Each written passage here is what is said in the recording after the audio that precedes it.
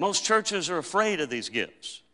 Most churches say, and most doctrines of men say that these gifts, these great gifts, are no longer available to God's people. Now, listen to me closely.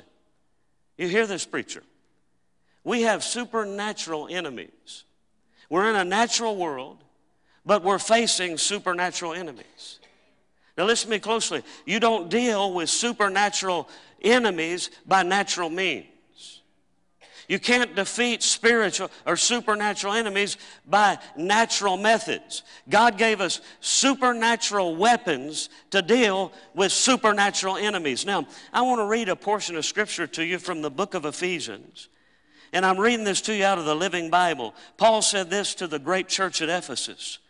Now, the great church at Ephesus was born, born out of a move of the Holy Ghost. When you read the record in the book of Acts and you see Paul coming on the scene there, he found a small band of disciples.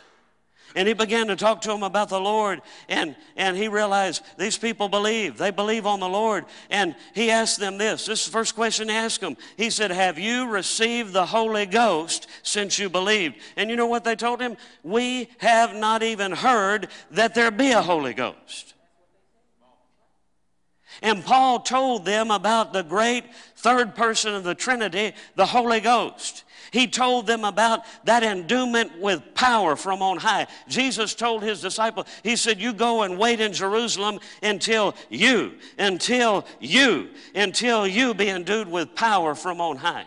Supernatural power that would come out of heaven and come upon them. In Acts chapter 1 8, the Bible says that Jesus told his disciples, He said, You shall receive power. Now listen to this after that.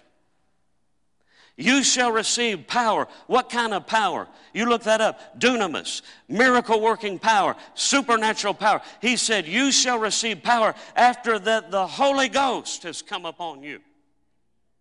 He said, Once the power of the Holy Ghost comes upon you, he said, Then you'll be witnesses of me right here in Jerusalem. He said, It'll go out to Judea, it'll go out to Samaria, and eventually, because of that great Holy Ghost power, that sparkling supernatural power that's upon your life and empowers you to preach the gospel with miracles, signs, and wonders following, he said, It'll spread to every nation of the face of the earth.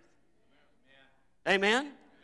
So he's talking to them and he said, Have you received the Holy Ghost? Have you received this power since you believed on Jesus? They said, We hadn't even heard that there'd be a Holy Ghost. The Bible says, Paul said, Well, listen, let me lay my hands on you. He said, I'm going to lay my hands on you and you're going to receive this great gift of the Holy Ghost. You know what the Bible says? He laid his hands on every one of them and every one of them began to speak with other tongues.